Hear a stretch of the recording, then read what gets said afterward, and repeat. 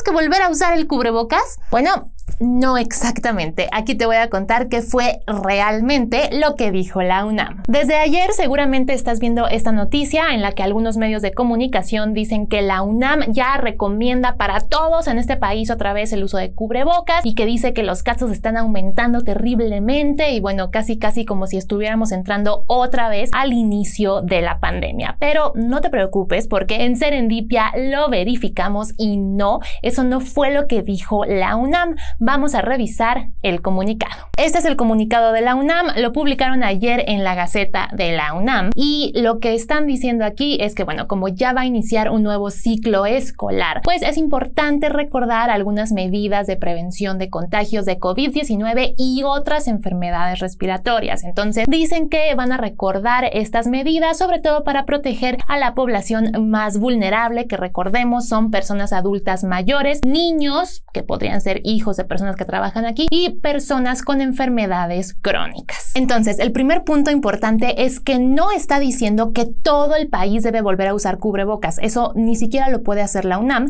porque no es la Secretaría de Salud y no lo hace. En su comunicado no lo hace. Lo que hace la UNAM es que le recomienda a la comunidad universitaria el uso de cubrebocas en tres situaciones específicas.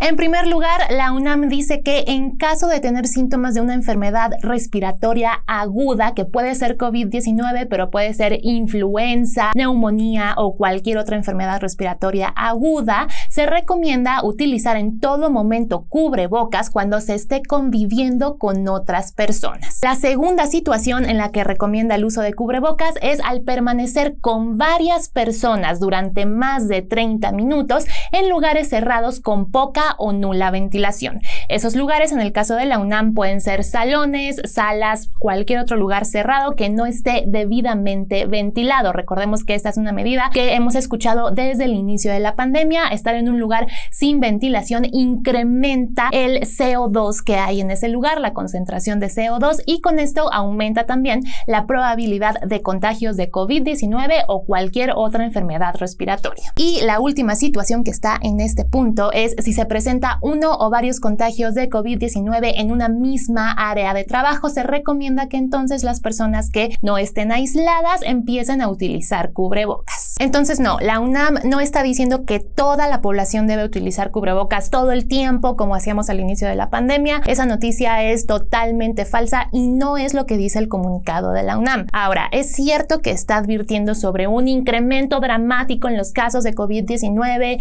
y esto se está saliendo de control. No, esa parte tampoco es cierta y vamos a revisar el comunicado.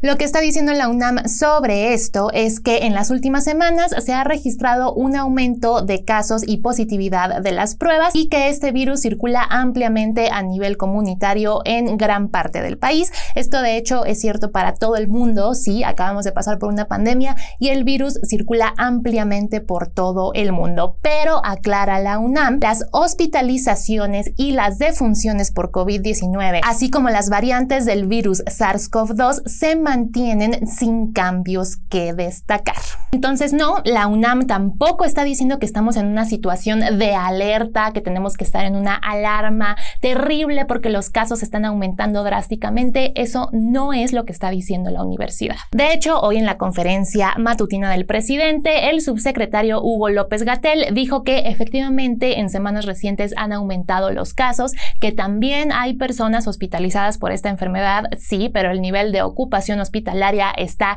en 2% y en terapia intensiva estamos en 0.5% a nivel nacional, lo cual es muy bajo comparado con niveles que llegaban casi al 100% o que superaban incluso el 100% durante el pico de la pandemia o los picos de la pandemia. Entonces ya explicó también el subsecretario de salud que no estamos en ese escenario de caos y alarma a nivel nacional. Además, López Gatel dijo que la mayoría de estas hospitalizaciones por COVID-19 son de personas que no tienen el esquema de vacunación completo contra esta enfermedad. Entonces, lo único que busca la UNAM con este comunicado es proteger a la comunidad universitaria durante el siguiente ciclo escolar y como este mismo comunicado lo dice, especialmente a las poblaciones vulnerables. En ningún momento nos está diciendo que ya todos hay que regresar al uso de cubrebocas. Como ya les dije, esto ni siquiera es de su competencia, no lo puede ordenar la UNAM y no lo está haciendo. Lo único que busca es proteger a su comunidad. Así que ya saben, no caigan en esta noticia falsa y compartanle el video a las personas que sí cayeron. Si llegaron hasta aquí, déjenos un corazoncito amarillo para saber que lo vieron todo y nos vemos muy pronto con un video nuevo.